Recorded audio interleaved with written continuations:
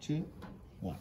Hello, I'm Jada, and I'm going to be telling you about one of my near-death experiences. Every summer before COVID, I would go on mission trips, and one year we went to South Carolina and was greeted with horrible weather. The first night we were there, there was a tornado. The second day, there was a bad thunderstorm.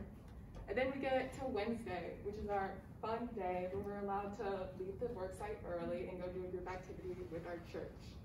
And my church decided to go tubing. And me, being the genius I am, noticed the weather patterns and I checked my app and I realized I was gonna thunderstorm while we were tubing. And nobody listened to me, so I backed off. We started tubing and everything was fine, and then, surprise, it started storming.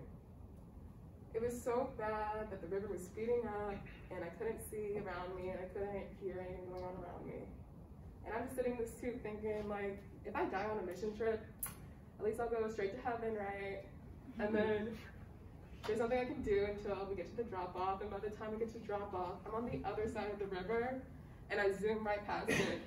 Thank God we had a very strong, experienced swimmer with us and he swam out and got me, which, spoiler, alert, I didn't die, I didn't drown, I didn't get electrocuted, which is why I'm able to stand here today and tell you this story.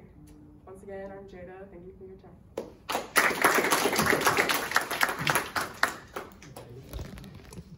Good job. Thank you. Lexi?